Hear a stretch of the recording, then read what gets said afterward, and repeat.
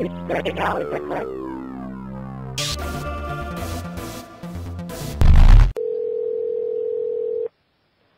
you for calling pharmacy. This is Min. How can I help you? Hello, I have recently been bit by one of my plants. Is there anything that you could would recommend? By by what? A plant, a man-eating plant. I'm sorry. What was that again? Um, What was? I recently bought a plant from some dealer, Uh-huh. and it's um. Do you know those plants? I don't even know what it's called, but uh, it has like teeth, and I tried to water it today, and it bit me, and my arm is turning purple. Is there anything you recommend?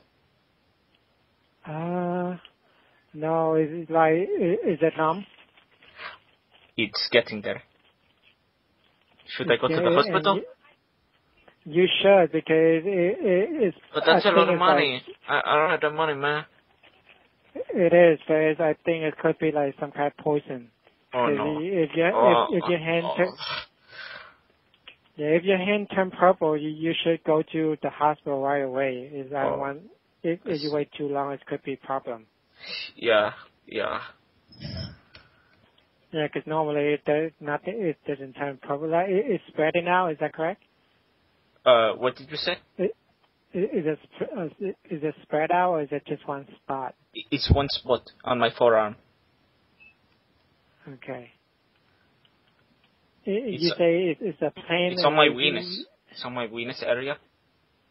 Uh huh. Yes. Wait, I'm I'm confused. What what what what what do you buy?